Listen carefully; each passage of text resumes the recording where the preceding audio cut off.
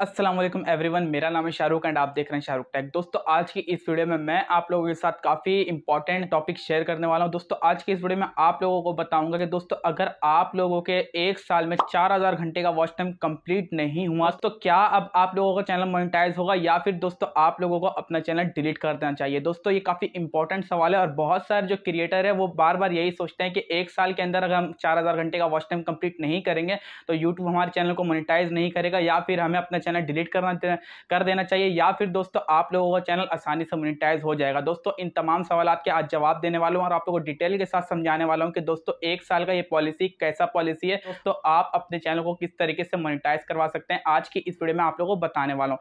But दोस्तों, video start करने से पहले छोटी सी रिक्वेस्ट है, हमेशा की तरह आप लोग सपोर्ट बनाए रखिएगा, चैनल को भी सब्सक्राइब कर दीजिए तो आज की इस इंटरेस्टिंग वीडियो को यहीं से शुरू करते हैं। तो देखिए दोस्तों, सबसे पहले मैं आप लोगों को एक साल वाला पॉलिसी बता दूँ दोस्तों यूट्यूब की पॉलिसी में आप लोगों को 12 महीने के अंदर, यानी कि एक साल के अंदर 1000 सब्सक्राइबर और 4000 घंटे का वॉच टाइम चाहिए। दोस्तों 1000 सब्सक्राइबर तो सभी के एक साल के अंदर कंप्लीट हो जाते बस दोस्तों, अगर आप कंसिस्टेंसी रखेंगे तो आप लोगों का दो से तीन महीने में एक हज़ार सब्सक्राइबर कंप्लीट हो जाएगा। लेकिन दोस्तों, बहुत सारे क्रिएटर के साथ ये मसला होता है कि सब्सक्राइबर तो कंप्लीट हो जाते हैं, लेकिन वॉच टाइम कंप्लीट नहीं होता।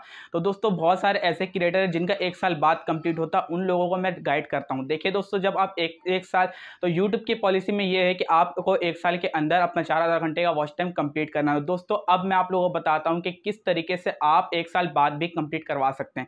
दोस्तों, अगर मान लीजिए आपका साढ़े तीन हज़ार घंटा या फिर तीन हज़ार घंटा एक साल के अंदर अंदर कंप्लीट हो गया और फिर एक साल के बाद आपका जो पाँच सौ घंटा वो कंप्लीट हुआ है तो दोस्तों, आप बिल्कुल आसानी से अपने चैनल को मोनिटाइज करवा सकते हैं। दोस्तों, शर्त यह है कि आपके उस दिन का वॉच टाइम काउंट नहीं होगा। जिस तरीके से दोस्तों, अगर आपने अप्रैल में चैनल बनाया, एक अप्रैल को समझ लिया आपने चैनल क्रिएट किया।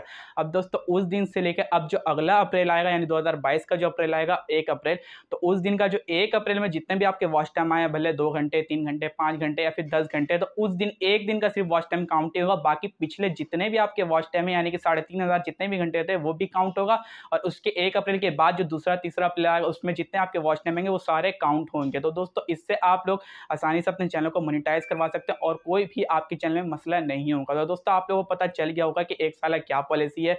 और एक साल के बाद भी हम अपने चैनल को मोनिटाइज करवा सकते हैं या फिर नहीं?